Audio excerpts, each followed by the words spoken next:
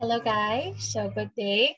So welcome on our topic on mycology and this is our last topic for the second grading. So mycology guys are the study of your mushroom basically. So myces means mushroom. But we will be focusing on a specific type of mushroom, okay? Or the or fungi, sabi nga. So fungi, which are syempre clinically significant. When we say clinically significant, they cause disease in humans. Okay, so we will study its structures, characteristics, morphology, importance, its classification uh, based on where it is, uh, where does it cause disease, or where is its habitat in the body based on the mycosis, kung it causes mycosis on the skin lang ba, or opportunistic ba siya, or systemic. So yan ang pag-aaralan natin ngayong araw. So let's talk about the different terminologies. So your fungi or your fungus are eukaryotic substances. Yan. So eukaryotics meaning they have a true nucleus. Their nucleus is enclosed in a nuclear envelope. And what's special about them is they are spores, spore bearing, okay? So your bacteria, it becomes a spore when it is exposed to harmful environment. Pero itong spores na to, it's very important in their sexual and asexual reproduction. So sa bacteria, guys, it's just asexual reproduction. But here in fungus, we have sexual and asexual. So ang raming napakas napaka-special sa fungi. What else? Yan. What are spores? So these are propagating unit. It's a way for them to multiply. It could be used in asexual and sexual. May i-distinguish natin yan.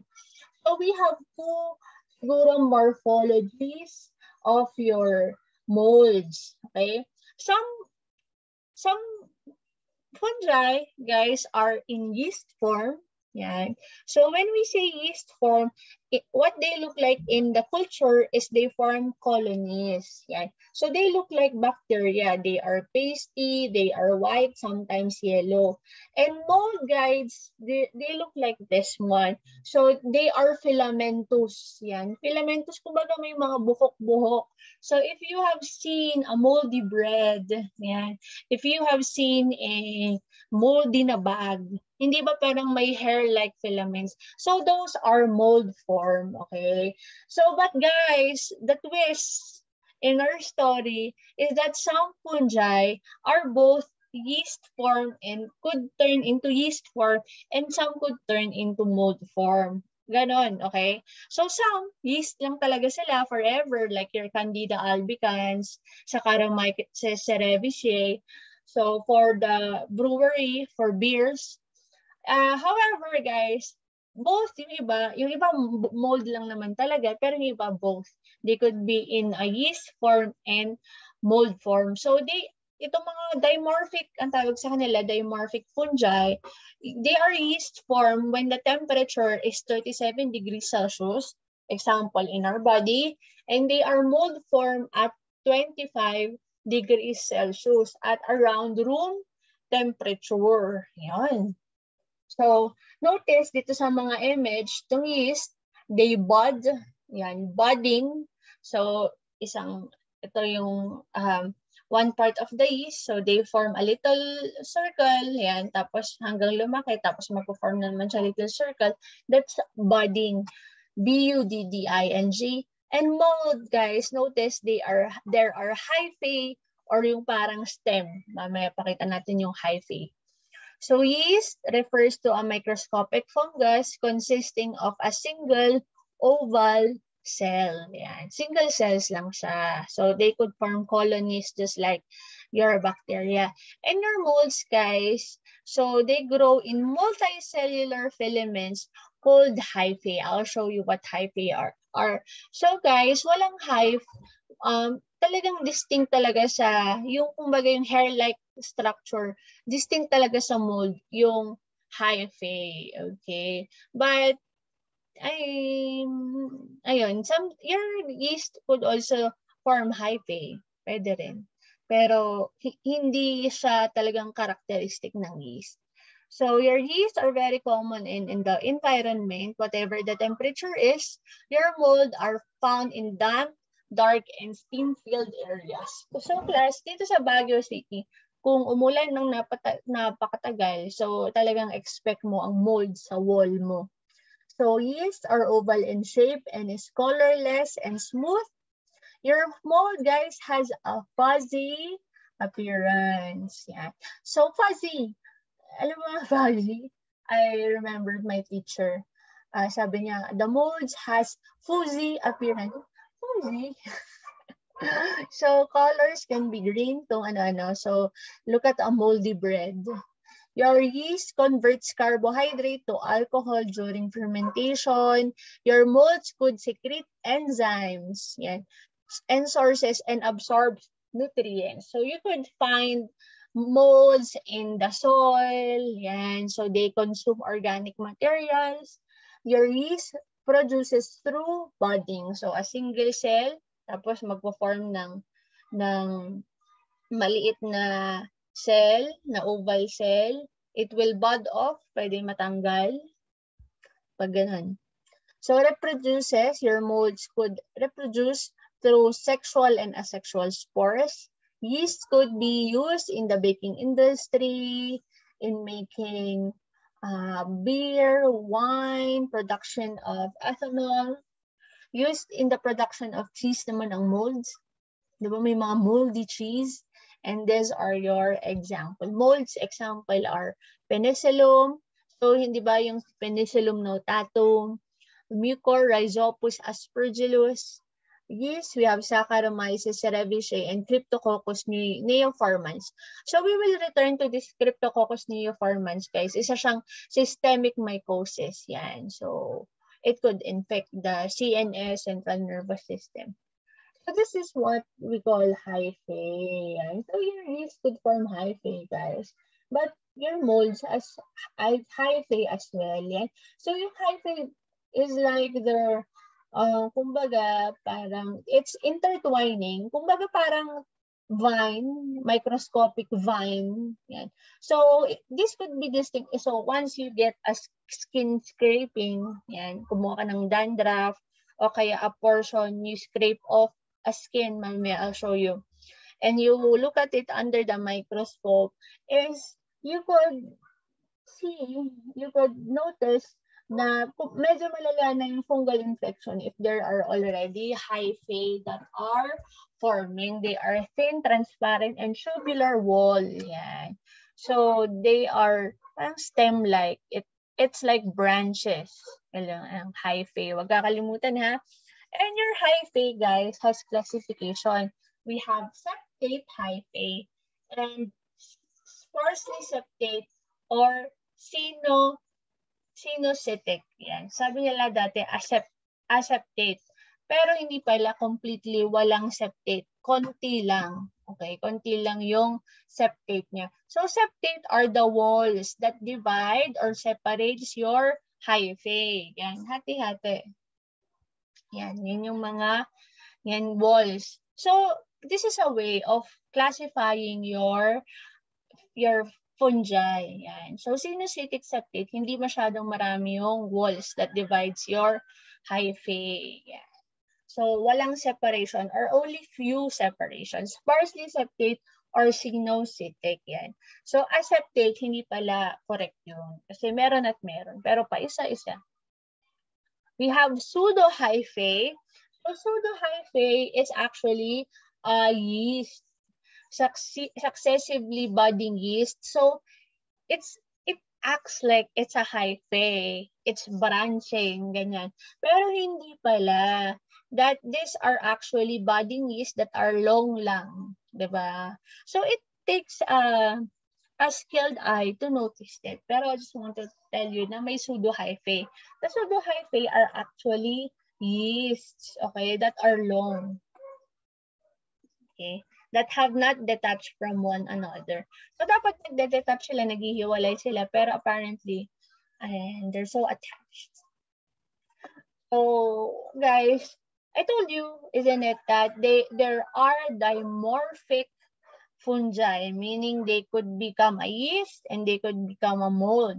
So this could be an example of a transition from a yeast being a hyphae, uh, forming into a hyphae, and your hyphae becoming a yeast. Yeah, especially among dimorphic fungi, meaning they could have two forms. So yeast sila sa body temperature, hyphae sila sa mold form sila sa room temperature. Yan. So, so the hyphae is the one that is in between. Okay? So the yeast, ang power niya or ang virulence niya or pathogenicity is it colonizes the mucosal tissue. Example, mucosal tissue of the lungs, especially in systemic mucosis. Doon nagsisimula ay lungs kasi once you inhale the spores. And your hyphae, yan, since it's intertwining, it's like a vine, it could invade other tissues. Yan. So later we will have the term disseminated. Yan. So ibig sabihin, kumakalat to different organs, disseminated. And this they could escape some immune white blood cells. Yan. Interesting. Your hyphae are mobile. So since your yeast could bud off increased ability to acquire the nutrients. What are what else are the parts? Hindi natin pag-aaralan lahat, pero I just want you to uh, be introduced lang. So, pag sinabi natin hyphae, isn't it that it's the intertwining uh, colorless tube? Yan. So, mycelium is the intertwining structure of hyphae. So, pag mas intertwining pa siya, yan, we call it mycelium and the root-like branch hyphae. Yeah. So root parang roots nga is the rhizoid. So rhizoid, roots nga. Kasi parang rhizoid sa mga ginger eh. So the function of your fungi, guys. So they are very important in in nature, in the soil, because they uh, disintegrate organic matter. Yan. They feed on the organic matter and convert it to relevant um, or inorganic materials. So, na-produce ng nitrogen, nitrites, nitrates, and so on, ng mga uh, so on.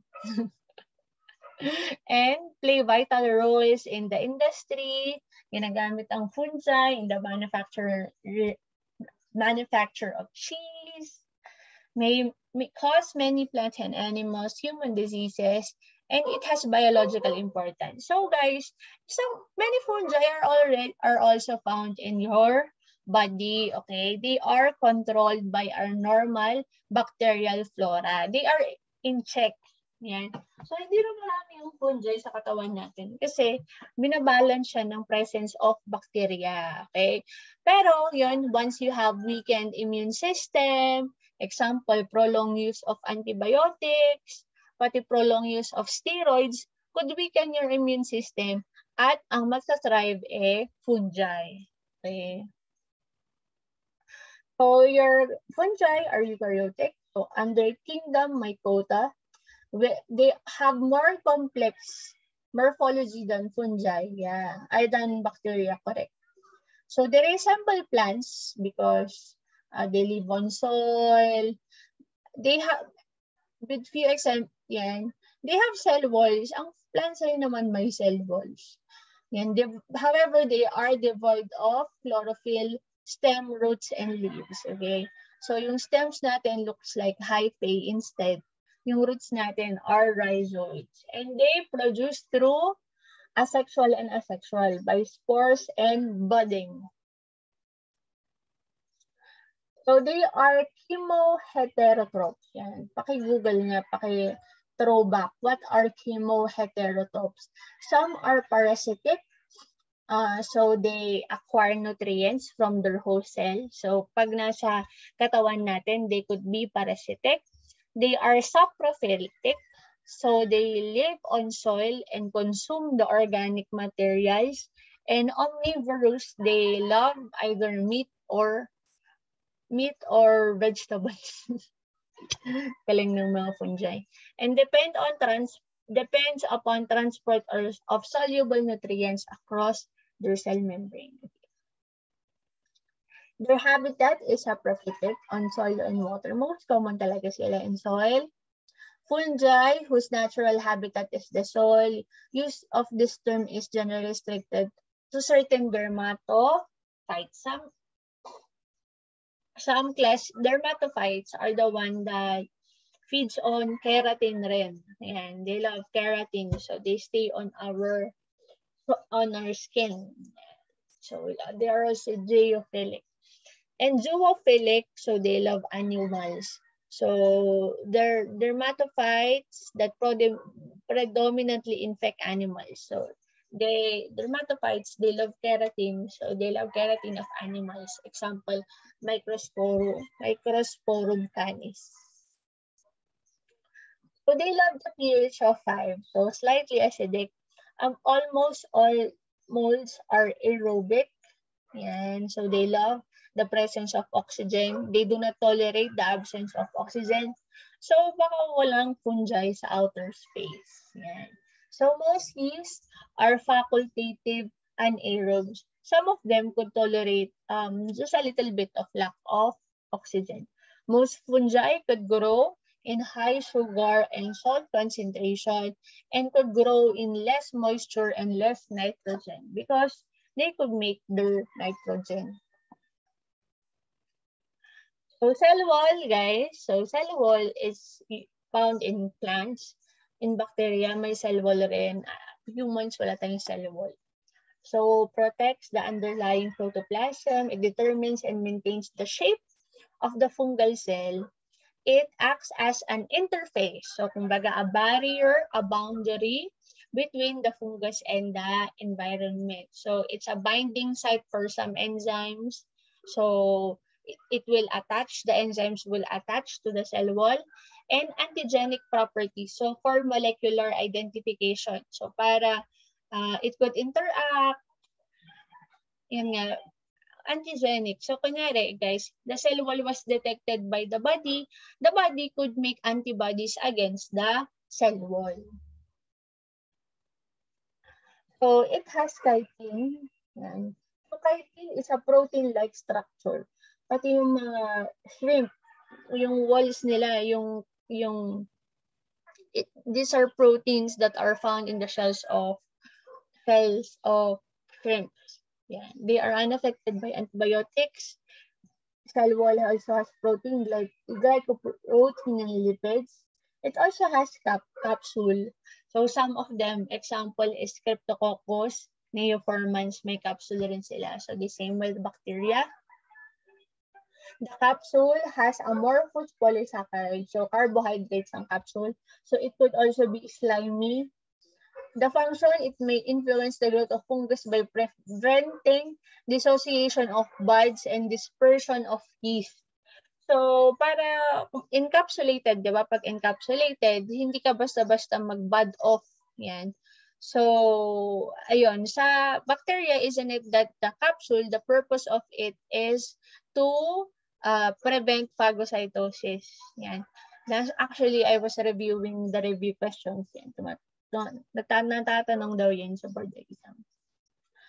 Cell membrane protects the cytoplasm. So aside from the cell wall, may cell membrane rin. It regulates the, uh, the products, the soluble and insoluble products that could enter the fungi It facilitates the synthesis of the cell wall and the capsular material. In the cell membrane is where you could find your ergosterol. So sterol, so may, uh, it has a component of fats, yan, sterols. So ito yung ina-atake guys ng nystatin, amphotericin B, na mga uh, antifungal agents. So guys, for their cytoplasm, we have mitochondria, vacuoles, vesicles, and microtubules. They, the nucleus are bounded by the nuclear envelope. So ibig sabihin, it has a true nucleus. And double nuclear membrane pa siya, two membranes. Usually, one nucleus consisting of mostly mRNA. So inside your nucleus, guys, so it's in co covered by nucleus, nuclear membrane, merong dense dense part doon sa loob ng nucleus and that's what we call nucleolus. And that is where your RNA are. The forms of fungal growth. Yeah. So we have yeast-like and mold-like. However, we have also dimorphic. So yeast are non-filamentous, okay? So they do not have so much of a hyphae, but they could form hyphaes, okay? They are unicellular that are typically spherical or spherical or oval where most infected tissues are observed. So they stay on the mucosa, in the mucosa. Yeah. So they are produced through fission or budding. So yung budding or yung fission, parent produces a protuberance. So yan. Tapos may maliit. Nucleus divides and migrates to the bud or fission. The parang binary fission, parent cell elongates and divides into two daughter cells are produced. Pero guys, mas common lang ba din um, na as asexual reproduction. We have mold-like or filamentous. They are multinucleated with branching tubular structures called mycelium, yung makapal na hyphae, grows by branching and elongation at apical tip. So nagbabranch siya ng nagbabranch until it could invade the different parts of the body. And guys, we have dimorphic fungi. They could switch into being a yeast or into a mold. So non-filamentous to becoming filamentous, filamentous to becoming non-filamentous. And so the modes of reproduction, we have sexual and asexual reproduction. So the, how does asexual reproduction happen? through mitosis. So, nagpro-produce ng daughter cells. Mitosis with budding. Yan. Production of daughter cell. Then, a production of a protuberance. Yan. Fragmentation of hyphae. So, if this is the hyphae, yan, pwedeng mag matanggal yung hyphae. I'll show you a picture of that. And formation of asexual spores. So, the spores, guys, could be used for asexual and sexual reproduction. So, tingnan na natin dito. So, these are your different fungi which are classified based on the spores they are producing. Yan. So, we have arthrospores. Kumbaga, parang box lang siya. So, itong mga box na to, pwedeng, yung arthrospores, pwedeng matanggal. Yan. And are released. Example ng ang meron nito is coccidioides immitis. Mamaya, I will show anong kinukos ng coccidioides immitis. So, kumbaga, back siya. Di ba yung hyphae natin, it's separated by septate. So, the hyphae are, tawag dun, are fragmented. Yan, natatanggal. So, lumarami. Yan, marami kumakalat. We call it arthrospores. An example is coccidioides immitis. So next guys, chlamydospores. So notice the chlamydospores, instead of a box, circle siya na double walled pa. Yan. Yan. And it's it could be within a hyphae or on the terminal side yung circle depending on the species or the of the fungi. Kunti lang ipapamemorize kung fungi sa inyo ngayon. So, pa-round siya. Okay? Next. the spores, notice the spores are enclosed with a sac. Yan, itong sac na to, yan. Naka-enclose. So, nare-release ng pakunti-kunti yung mga spores. It's called sporangiospores. Conidiospores, it's not enclosed in a sac. Okay. So, parang aspergillus to eh. And blastospores, example in Cryptococcus, Neoformans, Candida albicans, the, the, may hyphae, oh, pansin nyo. Pero there are budding off. Yan, budding off. So, notice yung may mga circles, yan, magbabud off yung mga circle na yan. Tapos, mag-grow, magiging oval, yan, and so on, takalat sila. So, that's, those are your different way, different morphology and different ways how asexual asexual reproduction happens. So, pwedeng arthrospores, may fragmentation, chlamydospores, so circular siya. Sporangiospores, may sac. Conidiospores, walang sac. blastospores budding off in Candida albicans and Cryptococcus neoformans. So, this is your asexual reproduction. So, spores will produce and it germinated. So, parang siyang seeds, guys, na kumakalat. So, kaya, ayun, kunyari, uh, panahon na naproproduce yung mga molds ng spores, yan, nabahing ka ng bahing. So, your, what else? Dito naman sa sexual reproduction, guys, we have two parts. We have plasmogamy, which is the fusion of the cytoplasm lang So, pag sexual reproduction, kumbaga, dapat may male and female. Pero there's no such thing as a male and female fungi. So, positive and negative ang tawag sa kanila. So, they will fuse in their cytoplasm and they will fuse in their nuclei. So, pag cytoplasm lang ang nag-fuse, hindi pa nag-fuse yung nuclei, plasmogamy ang tawag. Karyogamy, pag nag-fuse na yung nuclei. Tapos, it will form meiosis and they will form spores. And tingnan natin. So, sexual mode. So, either, either cross-fertilization. So, merong isang fungi dito, isang fungi, they will cross-fertilize or self-fertilize. Okay? So, kung marami na siyang spores, yan. So, it will, it will, uh, siguro, it will produce the zygote. So haploid fungi form hyphae that has gametes at the tip. So when we say gametes, ito na yung mga magmimate. Okay? So, uh, plus type and negative type yung mga gametes natin. So instead of female gametes and male gametes, positive and negative. Ma'am, sa positive and negative, ano yung male and female? Hindi ko rin alam. Okay? So, your plasmogamy, magpo-fuse lang yung cytoplasm, okay? But the nuclei is still distinct, forming a dikaryotic cell. Dikaryotic kasi dalawa yung nucleus. Nag-fuse lang sila, okay? But hindi yung nucleus.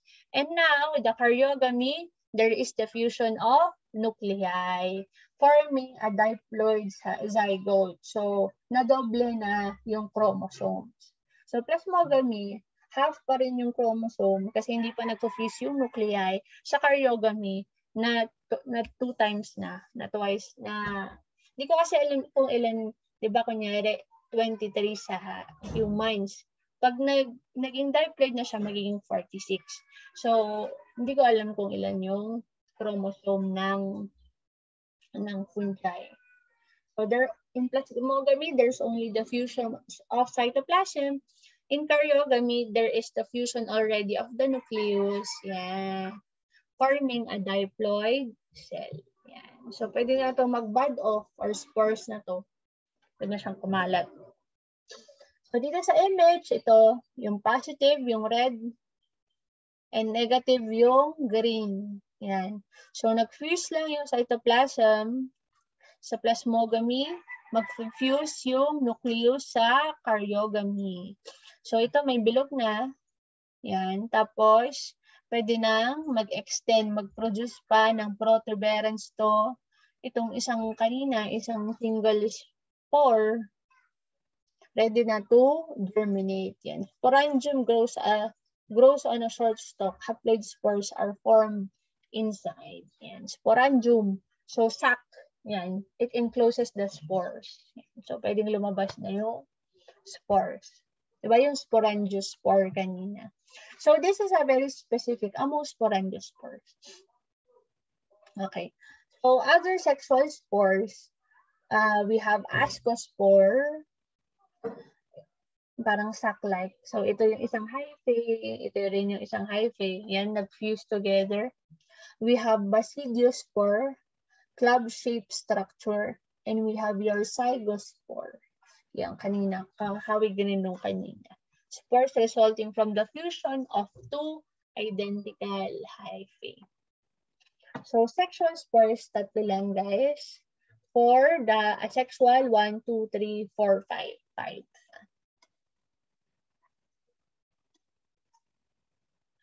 So, body size and possible fungal pathogen. So, ano-ano bang, so based on your specimen, example, or based on the site, ano ba yung mga fungi na nagsistay doon? So, practice tayo guys ha, na magbasa. Okay, so read after me. So, in blood, we have Candida species, sample Candida albicans. We have Blastomyces dermatitidis. Yan. Sa blood rin yan. So, it could cause um, toxemia. Yan. We have Histoplasma capsulatum. Pag-aaralan natin, pag-aaralan natin ito, mga, mga systemic mycosis to mga to. So when we say mycosis, it the disease that are caused by your fungal uh, etiologic agents. We have Cryptococcus neoformans. Sila dyan. CSF, ano ba mahayap natin doon? So, ibig sabihin, they could spread So nagsimula lang siguro sa lungs, madalas sa lungs pag systemic fungi. So pwedeng kumayat sa blood, sa CSF, like your Cryptococcus neoformans, Candida, Histoplasma capsulatum, and Coccidioides immitis. Ito yung may arthrospores, right? We have your hair. Alam mo, napapanot ka lang, fungal infection pala. Microsporum, Trichophyton, Malassezia sa dandruff. I'll, yung spelling mamaya. Yan, his Cryptococcus ata to kasi merong halo shape, parang capsule yung itsura niya. Histoplasma capsulatum. So these are your macrophages na may na-ingest na na histoplasma capsulatum. What else? Sa nails, we have aspergillus, epidermophyton, trichophyton. Yun yung challenging class naman dito sa fungi. Hindi lang isa. So, minsan halo-halo sila. Pero, just to let you know, so, ang mga sa yan, kalabo, di ba, namamatay lang, fungal infection pala. Skin, we also have candida, microsporum, trichophyton, epidermophyton, blastomyces dermatitidis. We have lungs, Candida albicans, Aspergillus rhizopus, Penicillium, Histoplasma capsulatum, Pneumocystis carinii, So, luma na pala yung name na to, na Pneumocystis carinii. Girovecii pala yung mas bagong pangalan. We have Blastomyces dermatitidis, Coccidioides immitis. So, notice how I wrote the scientific name. So, mas malaki pa rin yung, yung genus, mas malit na letter yung species. Okay. Throat, Candida albicans, Geotricium, Candidum, urine, Candida albicans, Candida glabrata, genital tract, Candida albicans. So, Candida, if you're in doubt, ang sagot, Candida albicans. So, how do we screen your fungal infection, especially if it's in the skin lang naman, or hair, or nails, or foot? So, we could perform KOH test. So, kung gram staining, guys, sa bacteria, it's a screening on classifying your bacteria, whether if they are gram positive, gram negative, or kaya gram variable sila. Dito naman, a way of screening or visualize your fungi, your yeast, your spores, your hyphae under the microscope is performing KOH test. Okay, KOH means potassium hydroxide. Yan. So, it's a rapid way of detecting under the microscope the microscope the fungal elements. So, it's very easy. You're just going to get a skin scraping of the fungal uh, infection. Pwedeng gumamit ka ng blade, pero kami slides lang. Scalpel, pero okay na yung slide lang. Yan. And after collecting it, you will drop 10% KOH on the slide. Yan, 10% or 20%, depending on how hard the skin are. So, kung galing lang naman na skin and hair, 10% okay na. But if it's nails, yan, you need a stronger alkaline. What's the purpose of that, guys? So, it dissolves the cement substances, the whole that holds your keratinized cells together. It breaks it down a little bit. It digests it para makita mo yung fungi, para makita mo yung hyphae, yung spores, or yung conidia. Yun. And so you add, you have your skin scraping, add 1 to 2 drops, incubate it for 5 to 10 minutes. Allow the KOH to digest the cement substances para mawala yung mga cellular debris para mas madaling makita. Okay? So once you look at it under the microscope, after 5 to 10 minutes, yan, makikita mo yung mga different parts. So pag ganito na nakikita mo guys, medyo malala na kailangan na talaga mag-antifungal cream, ganyan. So pag sa skin lang naman, antifungal cream, lotion, shampoo, ayun. So we have, so we're going to discuss your mycosis, guys. So we have four, okay? Yung first two, we have superficial or cutaneous. So it it, involves the keratinized tissue. So love to ng mga dermatophytes because they love keratin. We have subcutaneous. So below the dermis are your subcutaneous tissue. So lymphatic vessels, the contiguous tissues, your muscles, they are acquired by trauma. So, natusok usually. At doon pumasok yung fungi. O kaya may skin breaks. We also have systemic mycosis, mga sakit that could affect your organ system already. And it could debilitate people that ito, 1, 2, 3 guys, they cause disease on healthy people, okay? Exception is the opportunistic fungi or mycosis. They cause disease to immunocompromised individual. Okay. So, in among healthy people, it's rare that they cause disease. Simulan natin sa first part natin. So guys, we have superficial or cutaneous mycosis. They are caused by your dermatophytes. Dermatophytes loves keratin. Yan. So itong mga trichophyton, epidermophyton, microsporum, malassezia. So the common superficial mycosis are your ringworms, okay? So it could be human to human, animal to human, and direct contact. So nakakahawa. So risk factors, if you have a decreased immune response, you have your your age, diabetes mellitus, per, per, for for for circulation and corticosteroid use. Mommy told us na ano, risk factors, these are increases the risk. Okay. So, pero healthy individuals, pwede magkaroon ng ganito, especially pag basa lagi yung kamay mo, ganyan, or hindi mo din pinapatuyuan, or you're always working in a dump, your occupation is working always with water, yan. Yan. So, pinaka-common na superficial or cutaneous mycosis are your ringworms. So, it could start just like this. Pero guys, oh, kumalat na talaga. Nako, ang tagal na hindi na na-detect agad. So, yun yung ayaw natin yung kumalat. So, it's ringworm kasi it's circular. Okay? So, the technical term for ringworm are your tinea. So, pag nasa scalp siya, it's called tinea capitis If it's in the face, tinea faciae.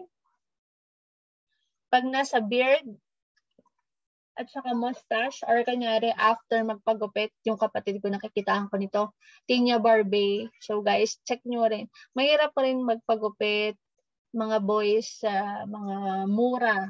Okay? Kasi baka they're not cleaning up your materials. We have tinea cruris in the groin, isa mga singit, guys. Tinea corporis in the trunk. Yan dito. Tinea pedis, soles or toes. Pag kunyari, yan, you are more prone to athlete's foot. Pag itong tinea cruris naman guys, sa mga ano daw eh, mga athletes, yan, especially if they are wearing, uh, hindi ko alam tawag doon eh.